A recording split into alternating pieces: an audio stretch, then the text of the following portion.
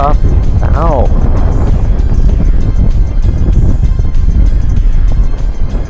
Nice crappie.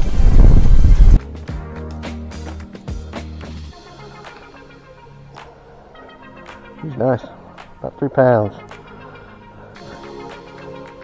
What's up? What's a big one? That's a big bass. That's a big bass. Yeah, he's nice. He's gonna get this one in.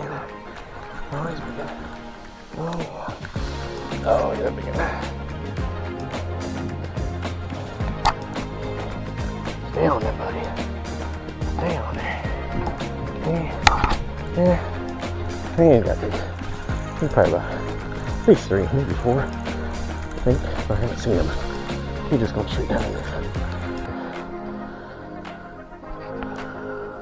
He's nice. He's a nice one.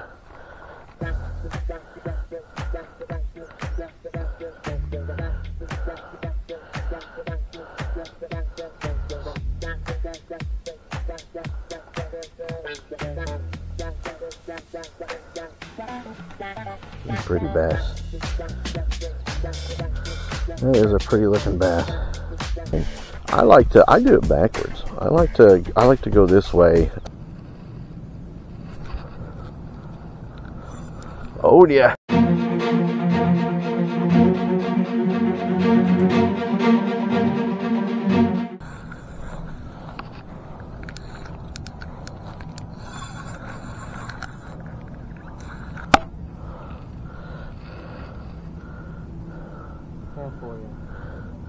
About, about four pounds.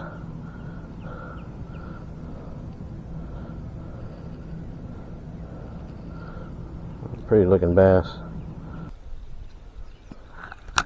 Got him. He's small, but